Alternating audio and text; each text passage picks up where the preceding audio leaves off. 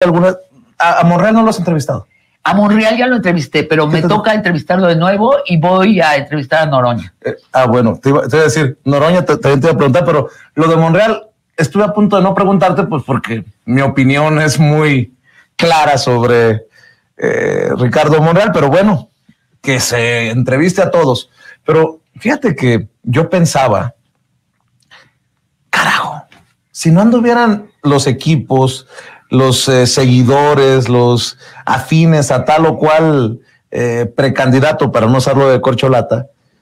Eh, no, estaría, como quieras. Estaríamos sentados sí. en unidad, sentados ellos, pues, teniendo claro que alguien va a ganar, pero que no lo va a ganar todo, sino que al final va a necesitar de los otros talentos para gobernar porque a lo mejor lo que tiene Claudia no lo tiene Adán, o, ah, lo, tiene Adán, y, así viceversa. Bien distintos, sí.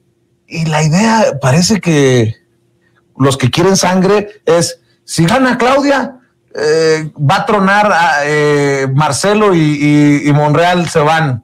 Si gana así, y yo digo, ¿qué parte no hemos entendido? Que el vacío, no, bueno, no el vacío, el lugar que deja un líder como Andrés Manuel López Obrador, si no puede llenar los zapatos uno, pues entre los cuatro, cinco o los que sean. ¿Cómo, ves estos pleitos en redes sociales?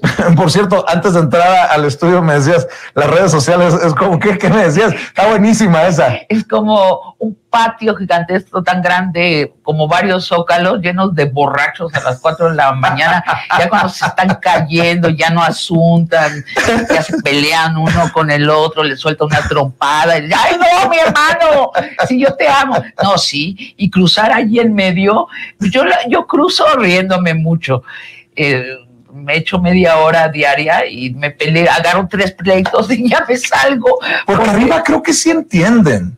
El problema es abajo que andan muy alebrestados, ¿no? Es que, ¿sabes? Mientras el proyecto no sea el país, mientras el proyecto sea la silla, se la van a arrebatar.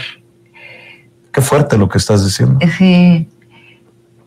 La 4T el presidente tuvo el genio de crear una cosa que se llama la 4T, que no se llama el López Obradorismo, se llama la 4T. Es un genio eh, narrativo. Yo no veo que los eh, candidatos de Morena todavía caigan en la cuenta. Si el proyecto no es la 4T para el país, va a ser una lucha muy cruenta, muy desafortunada. Yo podría creer que Marcelo se desespere y se vaya a la oposición. Se lo pregunté. Obviamente me dijo que, ¿qué pasa? Yo llevo 18 años en este proyecto, pero es muy tentador el poder.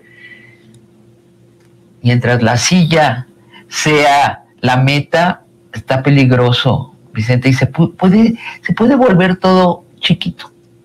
Esa es la, la, el problema. Sí, claro, sería fantástico tener este gobernando a uno de ellos y que los otros estuvieran haciendo allí y no subordinados tanto como con este presidente, sino con mucha más manga ancha. Mm. Pero veremos. Yo no lo veo. ¿Tú lo ves? Que, que, que están pensando en estas dimensiones épicas de la patria, del país, de cambiar el destino de México. No lo sé, pero si lo entiende tu humilde servidor, un peón de la información, deberían, ¿no? Deberían. Deberían.